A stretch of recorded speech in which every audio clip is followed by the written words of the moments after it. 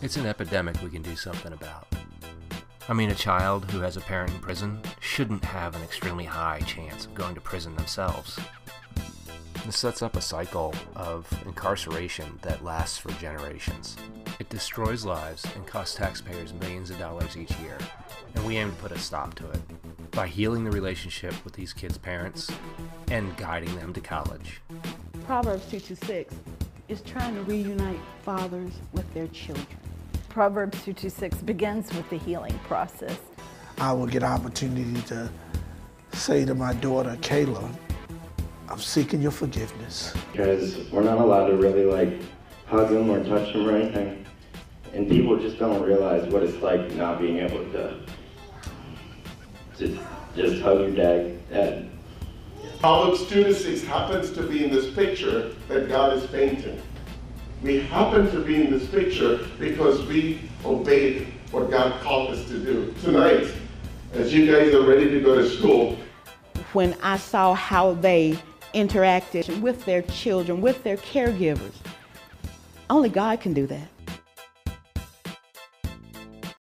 Greetings, my beautiful IP Resilience family and friends. And this in front of you, it's Ilona, and I wishing you all the best. If you have your dreams, please go after them. If you have somebody in your life that you haven't said, I love you or hug them, please take a time to do so. In front of me, I have a special guest who is going to completely revolutionize today's topic. And I have in front of me Mr. Cyril. He is a pastor and he is a founder of Proverbs 22 6 Ministry. Hi, Mr. Cyril. How are you today? wonderful, Ilona. It is really nice to be with you this afternoon on the show with you on the resilience. I really like the, uh, you know, the heading of your, uh, you know, the mission that you have on the podcast. So tell us more about Proverbs 22 6. What does it mean, why it stands for, and what do you do? Because I want everybody to know exactly what you told me. Fantastic. Uh, so Proverbs 2 to 6, it's actually what Solomon wrote in the book of Proverbs, chapter 22, verse 6. It says, Train up a child in the way he should go, and when he is old, he will not depart from it. The core of like what we are trying to do is to help the children that has a father or mother in prison. Uh, and the thing is this that, uh, Ilona, that uh, a lot of people don't know that if you are a child, if you're a child of an inmate, right, your probability of going into prison is close to 70 to 80%, right? And so, because of which, what happens is like over the years, these children have been following the footsteps of their fathers, right? And that uh, every single day, Ilona, even today, when you go put your head on the pillow, right? Know this today, we have sent uh, 4,500 kids that went to a prison, jail, or some correctional system today, right? And so the, the verse says, train up a child in the way he should go, not in the way his father went, not in the way his mother went, right? So we wanted to intersect in the life of these children and help them to break the cycle that's feeding into the system on an ongoing basis every single day. This is a struggle, Ilona. So Proverbs 2 to 6 is, uh, you know, um, is, is an operation that we want to mend the relationship and help these kids, uh, you know, get out of this cyclical cycle. You know, every person, when they do something significant in their life, they also have a reason. So, why is that important for you to do what you're doing right now? Because I'm sure there's a very fundamental story that will probably bring us to tears. Oh, absolutely, Lona. There is uh, um, three things that uh, you know led me to this path. Uh, you know, the the thing is, uh, even today, the divorce rate in India is less than one percent. Right? Uh, it's anywhere between one to two percent in India. But for some reason, you know, in 1970s, uh, early part of 1970s, you know, I was a part of that one percent where my mom was abandoned with a six-month-old baby right? And she wasn't educated. She didn't have like a you know a lot of uh, resources, but somehow she relied on God to just like open the doors for her. Uh, and in fact, like uh, you know, she would go serve in different houses, not expect expect the grace, that grace that she's showing on them will find me. Here's what happened, Ilona. That grace went all the way to Australia, Wales, Australia. There was a family named Annie and Graham.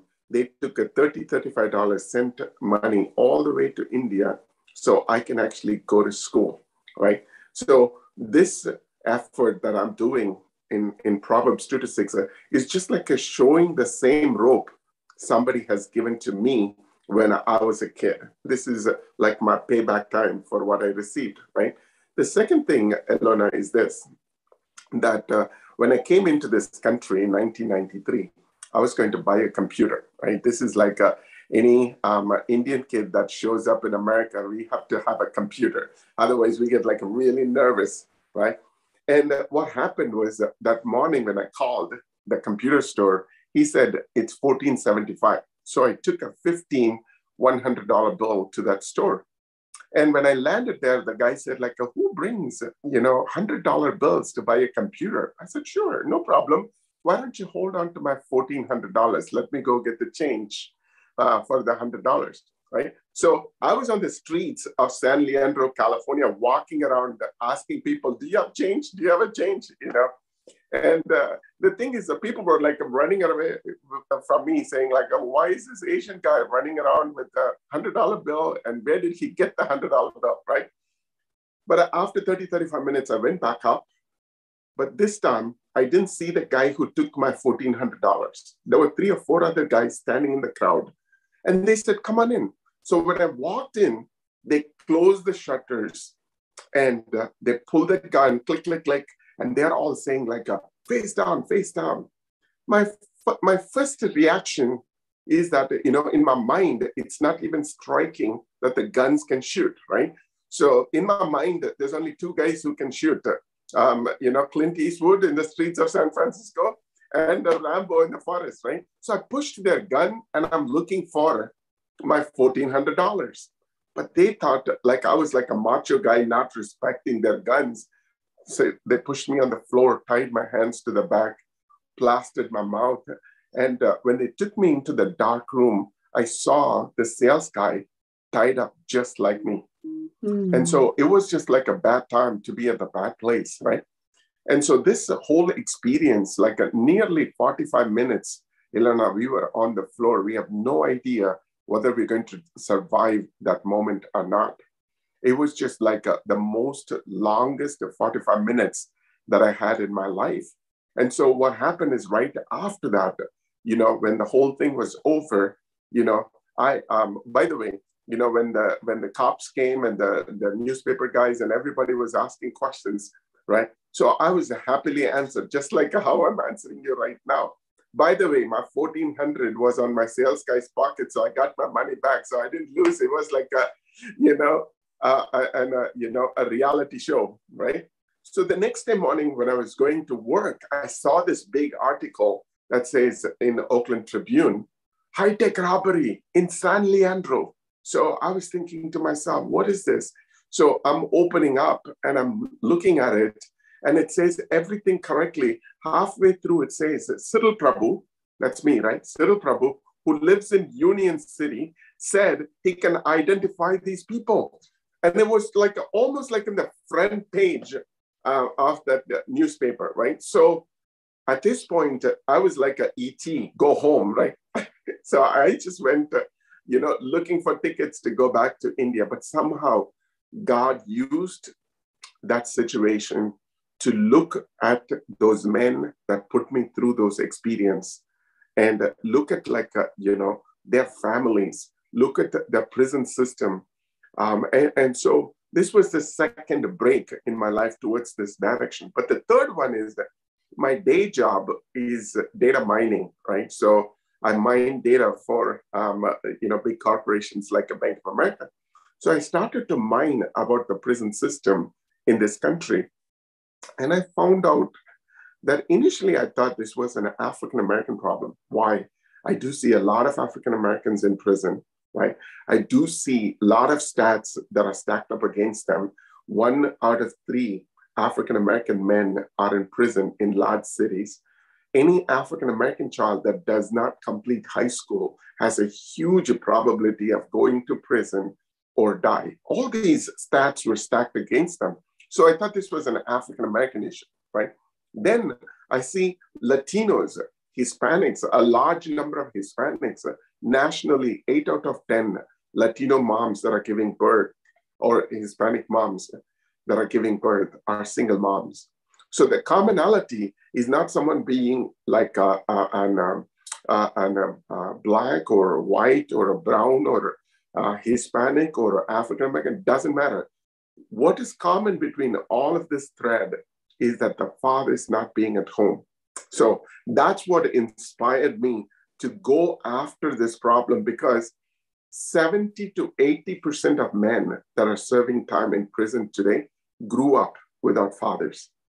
And their children have 82% probability of going to prison themselves. So Proverbs 2 to 6's mission is to break that cycle, stop that pipeline from feeding into system.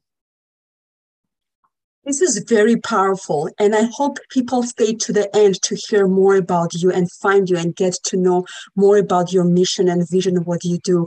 And you know, you have also relationship with the senators. And tell us more about how he found about you and what he says about you and how you impact not just the, your community, but how your vision is going to impact this country. Oh, absolutely, Ilona. The thing is this, um, the first thing that we wanted to do, um, there are two problems that we are trying to address in Proverbs 36. Number one, we want to address the, the fatherlessness because that's a huge contributor uh, uh, to, to the prison population growing right now. The second thing is lack of education. Um, you know, the, the, the country today, Ilona, has like a, you know, one out of eight kids that goes to elementary school doesn't complete high school.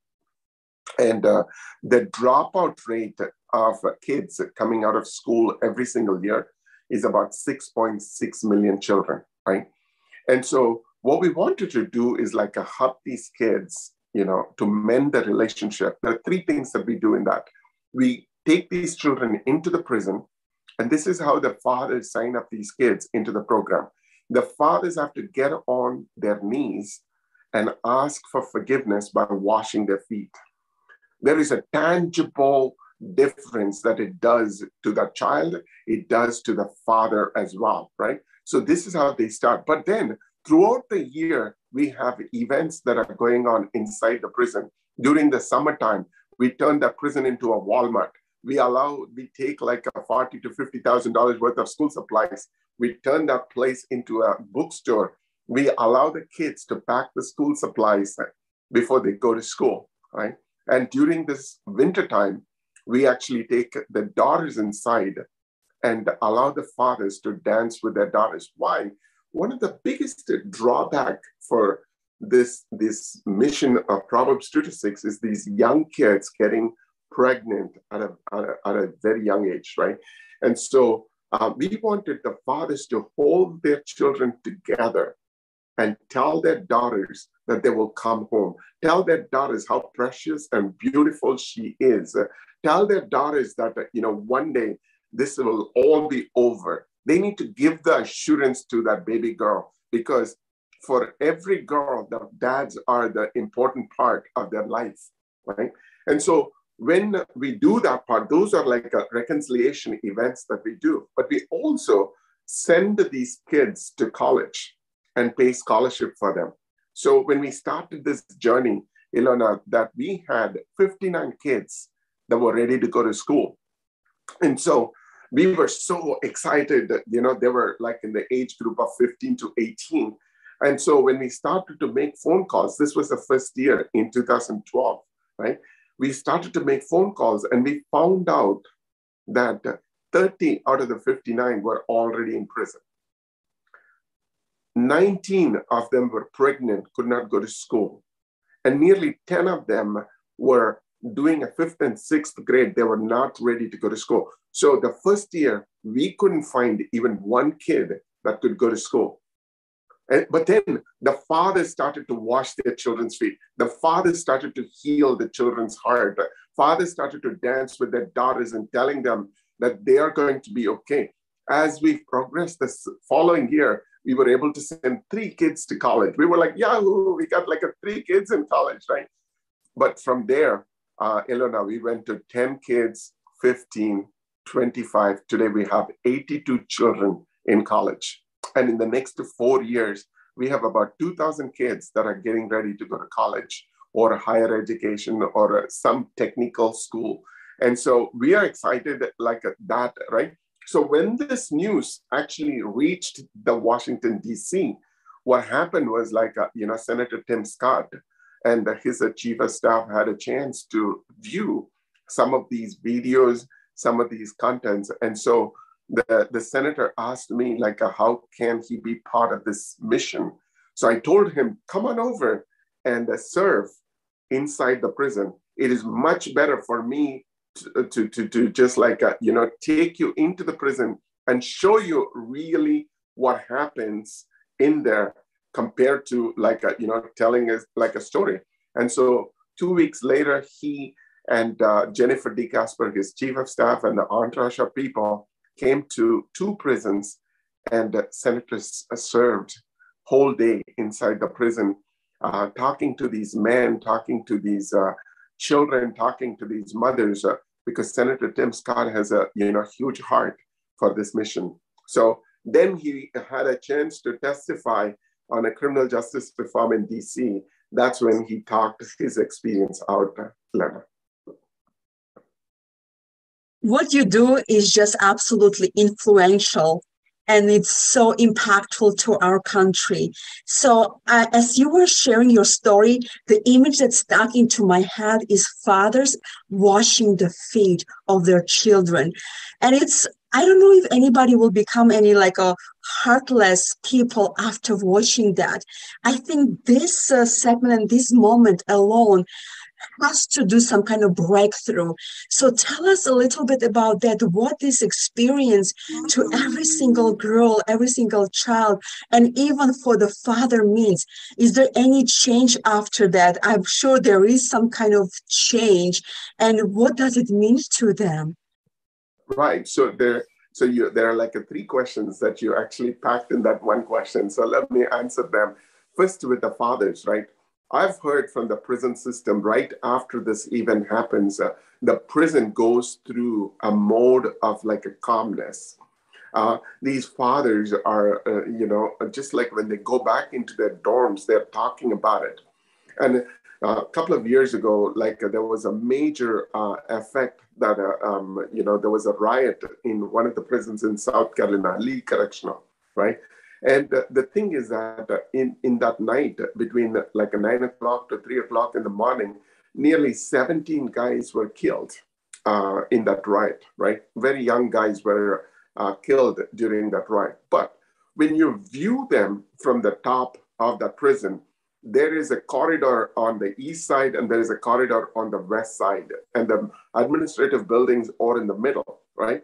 Only one side of the prison was you know, reacting and rioting and doing all these things, while the other side of the prison was very calm, quiet, and nobody got involved in the riot, even though they knew that was going on the other side. The only commonality that they could find was the fathers of Proverbs 2 to 6 that were staying on the west wing of those corridor that kept not only uh, you know from getting into trouble but also they stop the others to get into trouble. Why? Because these fathers have to be one year traction free before they can be part of it. If they get into trouble, like a riot, then they cannot participate in this program. So that's the kind of an impact that the fathers face inside the prison. Now come to the children, right? The children that, uh, you know, uh, are part of this now we, we did a study before the fathers wash their children's feet and after. What we are finding, their grades are improving. Their behavior problems in schools are coming down. And these kids are now getting ready to go to college and higher education. This is a change in paradigm. The, the, the kids often say they were in a dark place. But can you imagine, Ilona, if someone washes your feet and tells you, I'm really sorry. I'm humbling myself to the point of like a washing your feet. They're serious about fixing this problem, right? And so the kids are doing well. That's how now we have more kids that are getting ready to go to school. All of our kids that are part of this program are double or triple majors. And they're, uh, you know, the GPA is like a 4.6 to 5.8 these kids are doing uh, uh, studies on biometrical engineering, computer science, secondary education. So these kids are doing two or three majors in their, in their profession, nursing, and so on. Now, also, the third part of this uh, thing is that in South Carolina, when we started this journey, it was a number one state in the country, number one employer of South Carolina Department of Correction was the number one employer, right? In 2012. 10 years ago, the Department of Correction was the number one employer, right, of state of South Carolina. Today, 10 years passed by that the state of South Carolina is the number one state in the country for the lowest recidivism, which is a term used for fathers coming back into prison after being released. So here we are less than 20% in the state of South Carolina the fathers that are coming back compared to a national 70% is the average nationally, right? The number of inmates has come down from 26,000 inmates to 15,000 inmates in South Carolina. And in the women's prison, it's a 0%. If a, if a mom that washed her children's feet, her chance of coming back into prison is 0% compared to the men's prison, it's about 1.8%. That's the impact, um, you know, the state of South Carolina is seeing, Ilona, right now. Well, numbers tell the story, and what you do is impacts our heart too. So you speak to the, to everybody right now, and I want you to take a moment and speak to the Father right now, the father who is in a prison right now, I want you to take this time and speak to him. Oh, absolutely. The fathers that, uh, you know, that are watching this, uh, Dad, it's still not over. And um, the thing is, uh, these children of yours uh, think that you are the best dad in the whole wide world. All they want is this they want an answer from you for a very, very important question Did you ever love me? They just want you to answer that question for them. If only we can answer that question, the crime in this nation will come down. Dads, be cheered up. This is not the end. We still have an opportunity to go into the lives of these, your children, and you can put a medicine in their hearts that we cannot see through our naked eyes. It was so powerful and it touched even my heart for that. And yes, the question that we need to ask do you ever love me? And love, you know, is everything. It's such a force, such a power that can do miracles in our hearts and especially in our country as well. We all need love. And you guys, thank you so much for staying with us until the end and watching this amazing, heartfelt segment. Please reach out to our guest, contact him, connect with me, and let's make a difference together because together we're stronger. Thank you so much, Mr. Cyril. Thank you so much for what you do.